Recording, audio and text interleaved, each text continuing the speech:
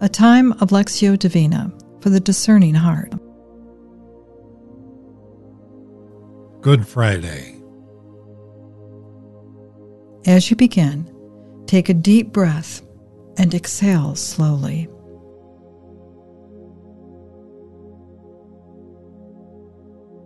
For the next few moments, surrender all the cares and concerns of this day to the Lord.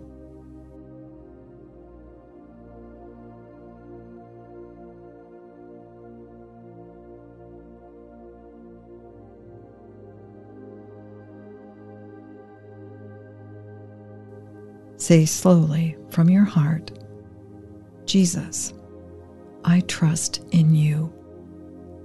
You take over.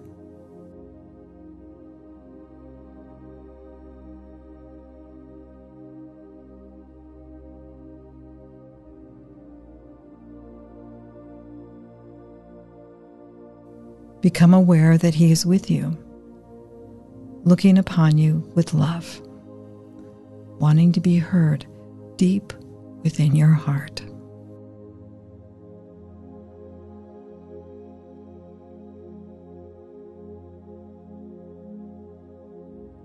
A reading from the book of the prophet Isaiah, chapter 52, verse 13 through chapter 53, verse 12. See, my servant will prosper. He shall be lifted up, exalted, rise to great heights. As the crowds were appalled on seeing him, so disfigured did he look that he seemed no longer human. So will the crowds be astonished at him, and kings stand speechless before him. For they shall see something never told, and witness something never heard before. Who could believe what we have heard, and to whom has the power of the Lord been revealed? Like a sapling, he grew up in front of us, like a root in arid ground. Without beauty, without majesty, we saw him, no looks to attract our eyes. A thing despised and rejected by men, a man of sorrows, familiar with suffering, a man to make people screen their faces. He was despised, and we took no account of him. And yet ours were the sufferings he bore, our sorrows he carried. But we, we thought of him as someone punished, struck by God, and brought low. Yet he was pierced through for our faults, crushed for our sins. On him lies a punishment that brings us peace, and through his wounds we are healed.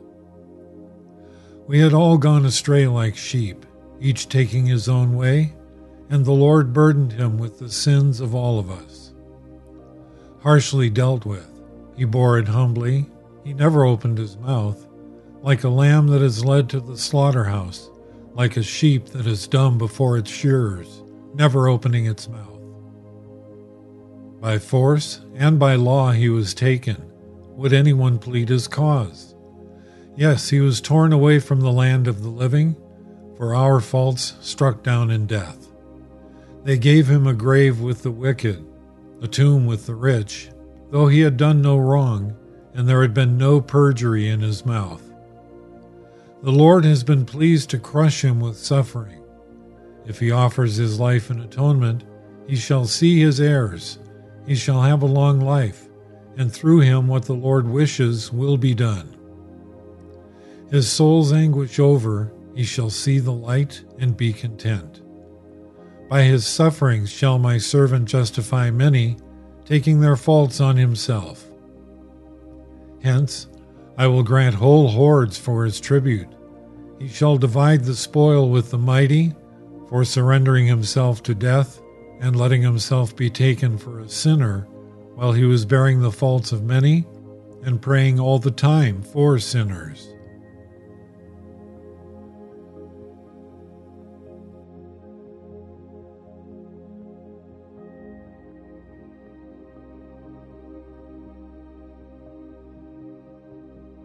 What word made this passage come alive for you?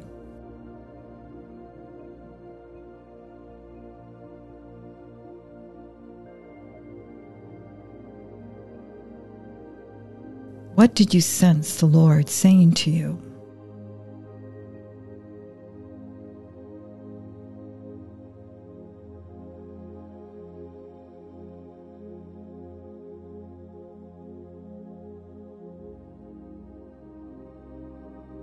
Once more, give the Lord an opportunity to speak to you. See, my servant will prosper.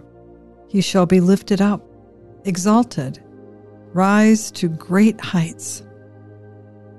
As the crowds were appalled on seeing him, so disfigured did he look, that he seemed no longer human.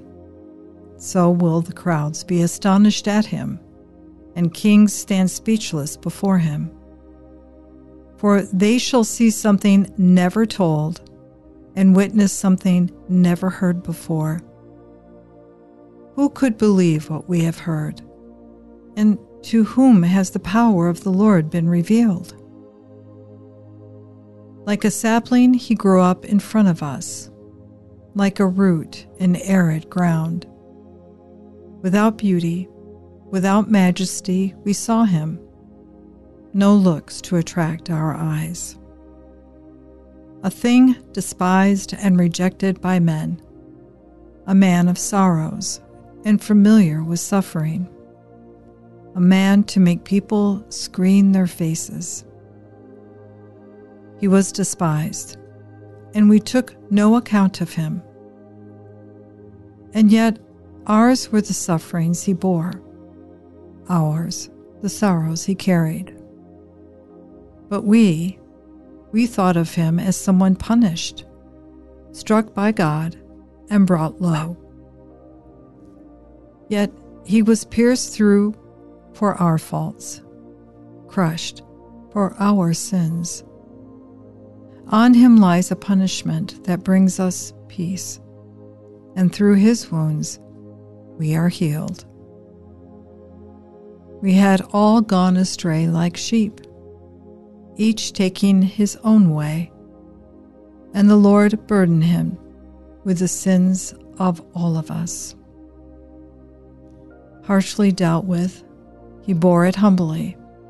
He never opened his mouth.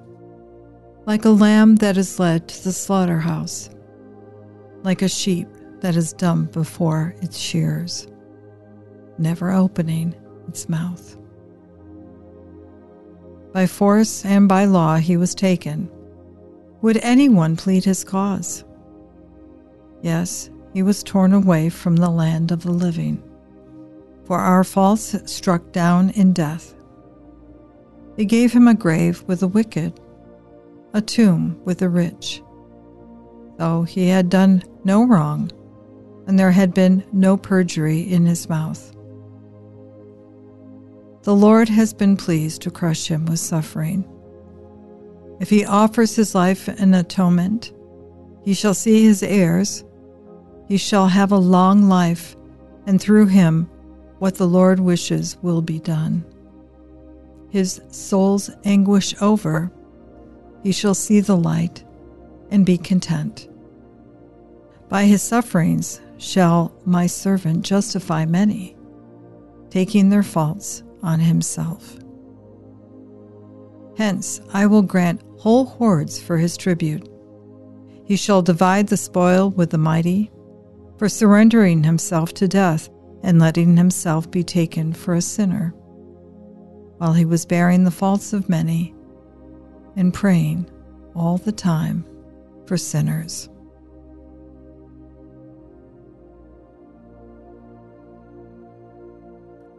What did your heart feel as you listened?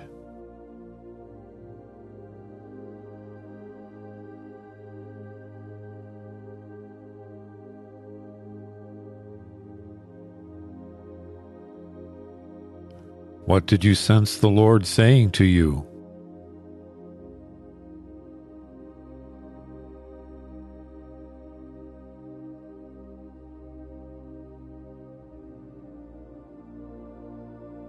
Once more, through him, with him, and in him, listen to the word. See, my servant will prosper. He shall be lifted up, exalted, rise to great heights. As the crowds were appalled on seeing him, so disfigured did he look that he seemed no longer human. So will the crowds be astonished at him, and kings stand speechless before him. For they shall see something never told, and witness something never heard before. Who could believe what we have heard, and to whom has the power of the Lord been revealed? Like a sapling, he grew up in front of us, like a root in arid ground. Without beauty, without majesty, we saw him, no looks to attract our eyes. A thing despised and rejected by men, a man of sorrows, familiar with suffering a man to make people screen their faces. He was despised, and we took no account of him. And yet ours were the sufferings he bore, our sorrows he carried. But we, we thought of him as someone punished, struck by God, and brought low. Yet he was pierced through for our faults, crushed for our sins. On him lies a punishment that brings us peace, and through his wounds we are healed. We had all gone astray like sheep, each taking his own way, and the Lord burdened him with the sins of all of us. Harshly dealt with, he bore it humbly, he never opened his mouth, like a lamb that is led to the slaughterhouse, like a sheep that is dumb before its shearers, never opening its mouth. By force and by law he was taken. Would anyone plead his cause? Yes, he was torn away from the land of the living, for our faults struck down in death. They gave him a grave with the wicked, a tomb with the rich, though he had done no wrong, and there had been no perjury in his mouth. The Lord has been pleased to crush him with suffering. If he offers his life in atonement, he shall see his heirs.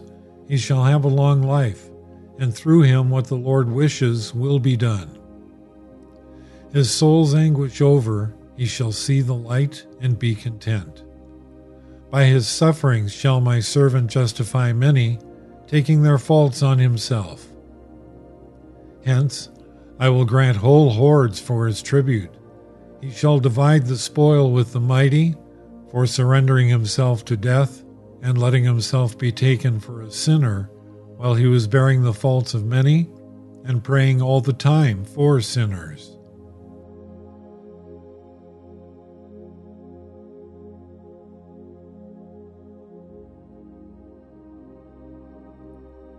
What touched your heart in this time of prayer?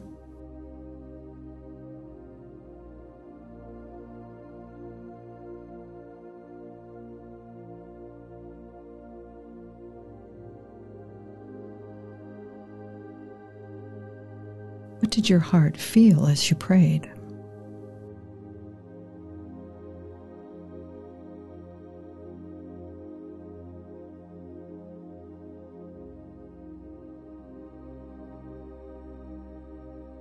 What do you hope to carry with you from this time with the Lord?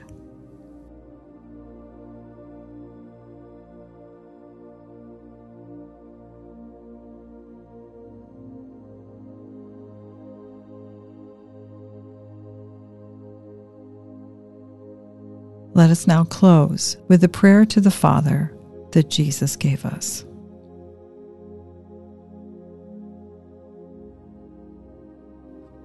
Our Father, who art in heaven, hallowed be thy name. Thy kingdom come, thy will be done, on earth as it is in heaven. Give us this day our daily bread, and forgive us our trespasses as we forgive those who trespass against us. And lead us not into temptation, but deliver us from evil. Amen.